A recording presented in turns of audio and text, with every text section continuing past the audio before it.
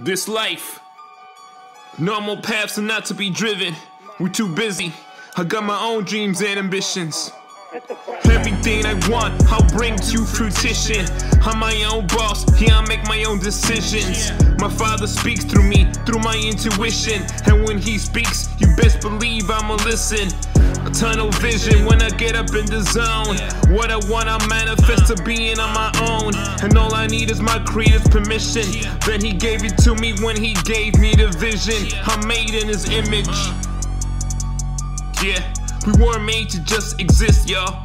We were made to create.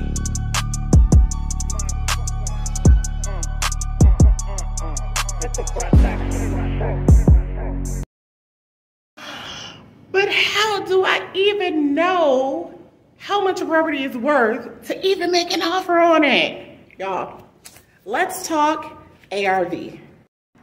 Okay, so ARV, y'all, I think this is so cool. Y'all see that? So ARV is actually the after repair value of the property, right? The ARV is the after repair value. And I'm about to show y'all how to know what the after repair value of a property is. So in order to know the after repair value, we are going to first pull some comps. Let me just show y'all this really fast, really fast. That's the wave, it's so cool. All the beautiful artwork, right? So cool. All right. So let's talk. We're gonna sit at this beautiful chair. chair couch.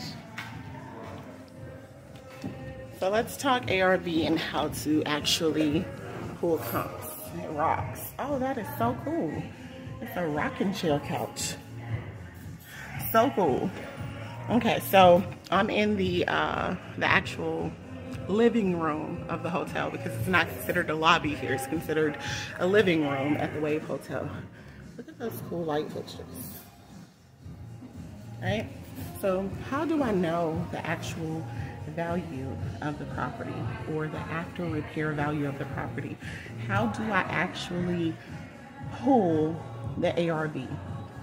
Um, so what you're gonna do is you're gonna get a real estate agent to do it. I'm just kidding y'all, just kidding. I'm showing y'all how to do this on your own. Um, basically what they do is, and what you're gonna do is you're gonna pull comps or comparables. So how do we know what a property is worth? We only know what a property is worth based off what the open market will pay for the property how much the property sells for is how much it's worth. But we don't know how much the property is worth because the property has not recently sold, right? We might know how much it was worth years ago, but the market is constantly growing and changing and that type of thing. We have inflation and a whole bunch of other stuff. And so how do we know how much the property is worth today? Okay, we're gonna find properties that are just like it um, within a, a, certain one or two square mile radius of the property. And we're going to um, then find a property that is very, very, very similar to ours. For example, um, if our property is a three bedroom, we're going to find a three bedroom property. If our property is a two bedroom, we're going to find a two bedroom property.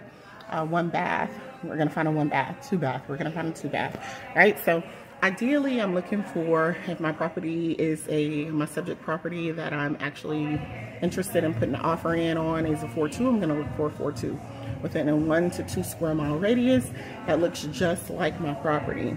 And um, if my property has a pool, I'm looking for one with a pool. If it has a garage, I'm looking for one with a garage. Now, what happens if I can't find one with the exact same features as the property as my subject property? what I'm going to do is I'm going to look at properties that are very similar um, and I'm going to try to figure out what a garage in the area costs, right?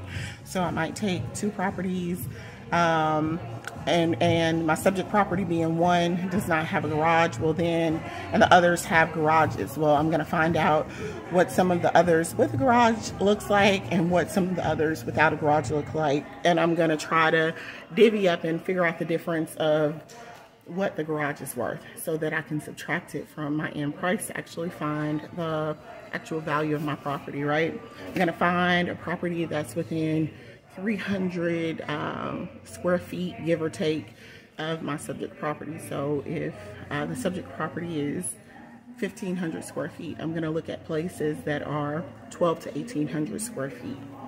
I'm going to look at properties that were built within 10 years of my property. So if my property is um, a 1990 property, I'm going to look at properties that were built between 1980 and 2000. Um, I'm going to consider properties that are, um, like I said, within a one, two square mile radius. But if you're in a very rural place, you might have to go out a little further um, to look at properties that were sold. And how am I going to look at these properties? You can go to Zillow.com, Trulia.com, Redfin.com, and you can look at properties that have been sold, when they've been sold, see pictures of everything, how much they were. So you're going to use those sites to actually pull up properties to figure out what the property may be worth. Um, and so what I'm looking for is I'm going to pull three comps or comparables or comparable properties um, to the property that I am figuring out what it's worth. So I'm going to pull up uh, three and I'm going to that recently sold within ideally the past six months. If you're in a hot area, it might be one that sold in the past um, few weeks. It might be one that sold if you're in a very rural area uh, within the past year. But properties that have most recently sold in the area on those sites, and you are going to um, add them up and divide by three and come up with um, the average that the property is worth. And that is how we pull comps or comparables, and that is how we figure out what the property is worth. So in this, this video, we've talked about um, how to figure out what the property is worth ultimately, and you learned new terms like comps, comparables, uh, you learned where to find that information for free. There's no cost, Zillow.com, Redfin Redfin.com. That's R-E-D-F-I-N.com, Zillow.com, and Trulia, T-R-U-L-I-A.com. So y'all stay tuned. I got more, more information for y'all, excuse me. And I'm going to continue to rock in my lovely rocking chair couch. stay tuned. Y'all like, share, subscribe.